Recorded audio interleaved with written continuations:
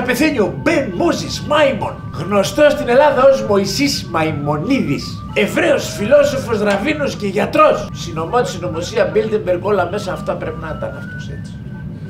1642 ο θαλασσοπόρος και εξερευνητής Άμπελ Τάσμαν ανακαλύπτει τη Νέα Ζηλανδία. Καλά δεν υπήρχαν όλοι αυτοί οι εξερευνητές. Φοβερό είναι αυτό. Δεν θα ξέραμε τίποτα. Δεν θα είχαμε ποτέ, δεν θα είχαμε Αμερική. Δεν θα... 1803 το ολοκαύτωμα στο Κούγκι. Ο ιερομόναχος Σαμουήλ μπροστά στον κίνδυνο να συλληφθεί αυτός και πέντε σουλιώτες μπουρλότο στους τουρκαλβανούς του Αλή. Στο βαρέλι μέσα μόλις μπουκάραν αυτοί και γίναν όλοι Κούγκι στο Κούγκι. Μουσουλμάνοι καμικάζι αυτοκτονίας και μαλακής.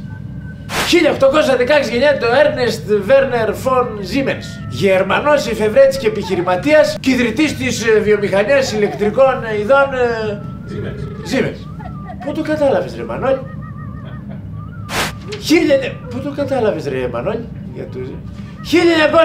1902 γεννιέται ο Παναγιώτης Κανελόπουλος, ιστορικός, φιλόσοφος και πολιτικός που έγραψε την ιστορία του ευρωπαϊκού πνεύματος, ήταν στο κοινοβούλιο, το κοσμούσι, ήταν αυτός ο άνθρωπος έγραψε την ιστορία του ευρωπαϊκού πνεύματος και τον είχαμε στο κοινοβούλιο. Τώρα προσπαθούμε να βρούμε ποιος ήταν ο Κωνσταντίνος Κολοκοντρόνη. Στο κοινοβούλιο.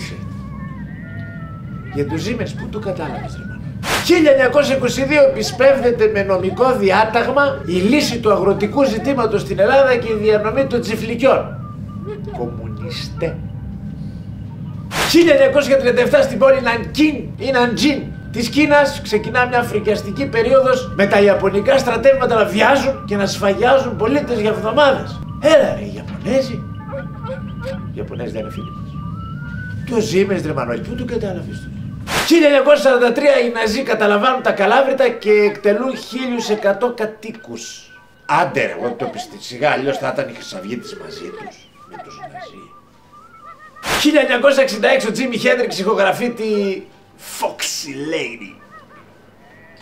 1968 κυκλοφορεί ο πρώτος δίσκος του Μάνου Λοΐζου ο Σταθμός. Σταθμός στην καριέρα του. Ξέρω ότι τα έχω κάνει μαντάρα με τα ονόματα, δεν προλάβε. Τώρα μπήκα και πολλά έχω λίστα. Αυτό αφιερώνεται πάντως στο σαν σήμερα στον Αντώνη Παπακοσταντίνου.